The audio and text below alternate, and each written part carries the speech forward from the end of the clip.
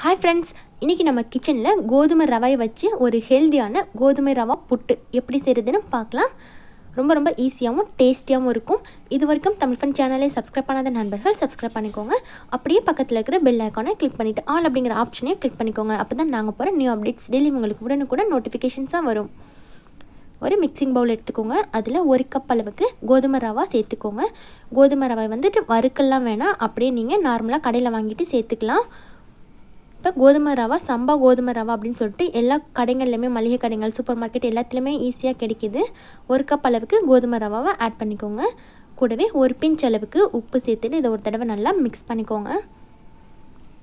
Mix பண்ணதுக்கப்புறமா இது கூட நல்லா கை தாங்குற அளவுக்கு சூடாக இருக்கிற மாதிரி சுடு தண்ணி சேர்த்துக்கோங்க. சுடு தண்ணி சேர்த்து கொஞ்சம் கொஞ்சமாக சேர்த்து இது போல் நல்லா மிக்ஸ் பண்ணிக்கோங்க. கொஞ்சம் பொழு பொழுன்னு இருக்கிற மாதிரி மிக்ஸ் பண்ணிக்கோங்க.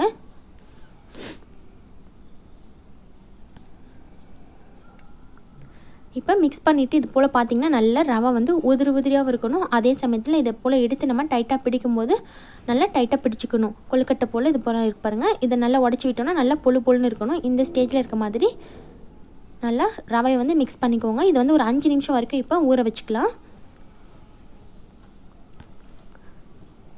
க்ளோஸ் பண்ணி வச்சுருங்க. இப்போ அஞ்சு நிமிஷத்துக்கு அப்புறமா நம்ம ஓப்பன் பண்ணி பார்த்தோன்னா அந்த ரவை வந்துட்டு அந்த தண்ணி எல்லாத்தையுமே நல்லா அப்சர்வ் பண்ணிவிட்டு கொஞ்சம் வர வரன்னு இருக்க மாதிரி இருக்கும்.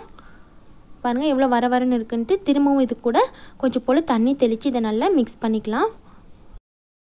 நமக்கு வெள்ளை ரவையை விட கோதுமை ரவை கொஞ்சம் வேகிறதுக்கும் டைம் எடுக்கும். அதே சமயம் கொஞ்சம் ஹார்டாகவும் இருக்குங்க. அதுக்காக இது போல் நம்ம ரெண்டு டைமாக தண்ணி தெளித்து இதை பிசைஞ்சு ஊற வைக்கும் போது தான் புட்டு வந்து உங்களுக்கு ரொம்ப ரொம்ப சாஃப்டாக கிடைக்கும்.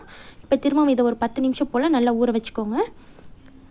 பத்து நிமிஷத்துக்கு அப்புறம் பார்த்திங்கன்னா இப்போ வந்து நல்லா ரவை வந்து ஊறி நல்லா சாஃப்டாக இருக்கும். பார்க்கும்போதே உங்களுக்கு தெரியும் ரவை வந்து நல்லா சாஃப்டாக வந்திருக்கு.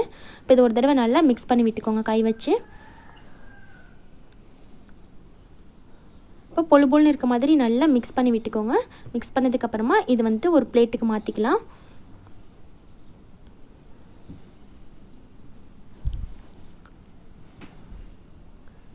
நீங்கள் இட்லி பாத்திரத்தில் கூட நார்மலாக நம்ம புட்டு அவிக்கிற மாதிரி அவிச்சிக்கலாம். இது போல் இன்றைக்கி நான் பேனில் தான் வைக்க போகிறேன் பேன்லேயும் நம்ம வச்சு வேக வச்சுக்கலாம். பிளேட்டில் மாற்றினதுக்கப்புறமா தண்ணி நல்லா கொதிச்சதுக்கப்புறமா உள்ளார வச்சுக்கோங்க. வச்சுட்டு இதை க்ளோஸ் பண்ணி வச்சுருங்க. ஏழுலேருந்து எட்டு நிமிஷம் போல் ஆகும். எட்டு நிமிஷத்துக்கு அப்புறமா நம்ம ஓப்பன் பண்ணி பார்க்கலாம். புட்டு வந்து ரொம்ப ரொம்ப சாஃப்டாக சூப்பராக வெந்து வந்துருச்சு. இப்போ வந்து நம்ம பிளேட்டுக்கு மாற்றிக்கலாம் இதை எடுத்துகிட்டு ஒரு பவுலுக்கு மாற்றிக்கோங்க இப்போ இந்த நம்ம பவுலுக்கு மாற்றினதுக்கப்புறமா சூடாக இருக்கும் போதே இது கூட எல்லா இன்க்ரீடியன்ஸும் சேர்த்து இது நம்ம மிக்ஸ் பண்ணிட்டோம் அப்படின்னா ரொம்ப வாசமாகவும் டேஸ்டியாகவும் இருக்கும். இப்போ புட்டு கூடவே தேவையான அளவுக்கு சர்க்கரை சேர்த்துக்கோங்க. அப்புறமா அரைக்கப் அளவுக்கு துருவன தேங்காய் சேர்த்துக்கோங்க. உங்கள் இனிப்புக்கு தகுந்த மாதிரி நீங்கள் ஸ்வீட்னஸ் ஆட் பண்ணிக்கலாம். கூடவே ரெண்டு டேபிள் ஸ்பூன் அளவுக்கு நெய்யும் அது கூடவே பத்து போல் முந்திரியும் சேர்த்து நல்லா வறுத்துட்டு இது கூட ஆட் பண்ணிடுங்க சேர்த்துட்டு இது எல்லாத்தையும் ஒரு தடவை நல்லா மிக்ஸ் பண்ணி விட்டுட்டு சர்வ் பண்ணிடுங்க ரொம்ப ரொம்ப சூடாக சாப்பிடும்போது அட்டகாசமான டேஸ்ட்டில் இருக்கும். கோதுமை ரவா புட்டு. இதே மெத்தடில் நீங்களும் உங்கள் வீட்டில் கண்டிப்பாக ட்ரை பண்ணி பாருங்கள் ஃப்ரெண்ட்ஸ் இந்த வீடியோ உங்களுக்கு பிடிச்சிருந்தா லைக் பண்ணி உங்கள் ஃப்ரெண்ட்ஸுக்கும் ஷேர் பண்ணிக்கோங்க. தேங்க்யூ